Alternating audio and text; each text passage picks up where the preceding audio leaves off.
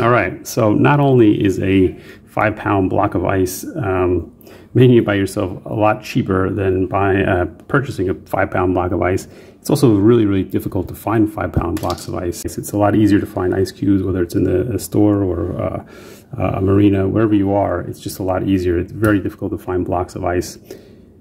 Why are blocks of ice uh, more desirable? Well, because they melt a lot but slower.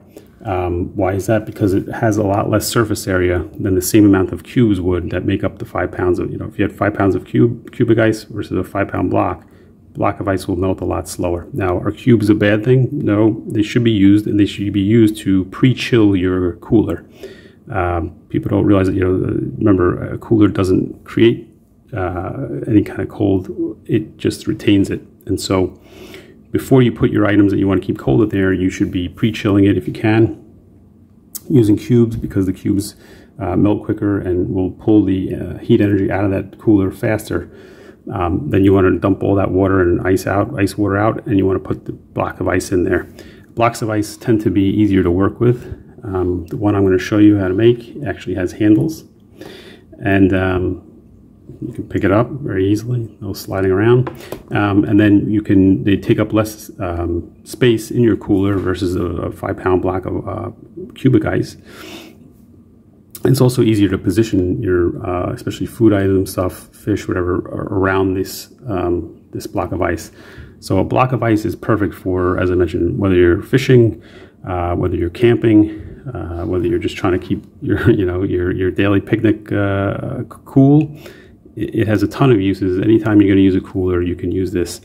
Uh, this rounded block of ice, as opposed to square, is ideal for um, the ice mule. If any of you have it, I'm going to feature that in a uh, in my next video. That's a, a, portable cooler that you know it's a backpack basically. It goes on your back. Um, can keep keep cool for quite a 24 hours. So um, that'll be in the next video. But anyway, this is ideal. You, are going to save over cubic ice. You're going to save several dollars uh, for five pounds. Usually these are premium and not to mention they're just, as I said, just very, very difficult to find. So with that, let's just uh, show you how to do it. You're basically just going to take an old Poland Spring bottle, the three liter bottle, fill it up, and um, and uh, that's it. It's, it's a 48 hour process. And let me show you what it looks like when it's done. Okay, so first thing you want to remember is not to fill this up all the way. It's a little bit hard to tell uh, but you basically want to fill it up right to about here. Um, that's for two reasons. Number one, when this freezes, when the water freezes, it's going to expand. So you're filling it up a little bit. Uh, there's actually a ridge line here that you can see, but you're going to do it just slightly above there. The other reason is because you want to leave room for yourself to cut into. Uh, we're going to cut this whole thing open from the top and then slice down the middle, make it very easy to slide out. Uh, on that note, it's best to use a utility knife. If you try to use uh, one of your kitchen knives, you're going to dull it. Uh, just I recommend one of these or a smaller one. Anything, anything will do. Um, so we're going to make that cut now.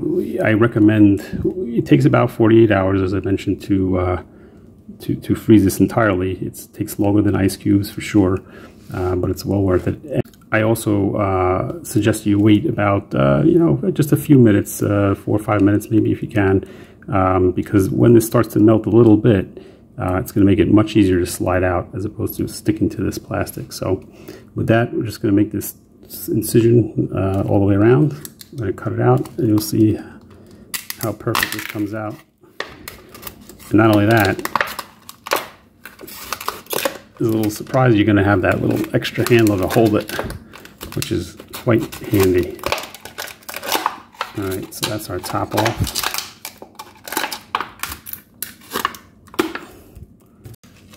Right, with that, and then we're just going to make a slice right down the middle.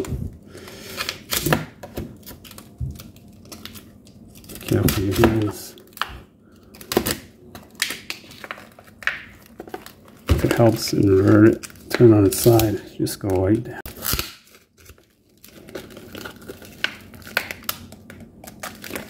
Often this will just slide out.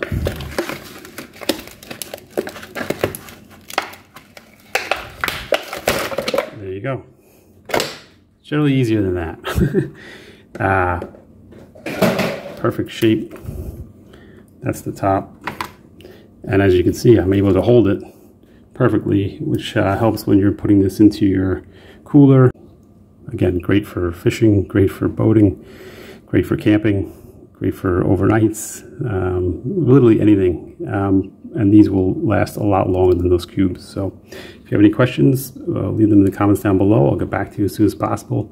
If you found this at all helpful, please do give it a thumbs up. If you'd like to see more, subscribe down below. Thank you for joining me.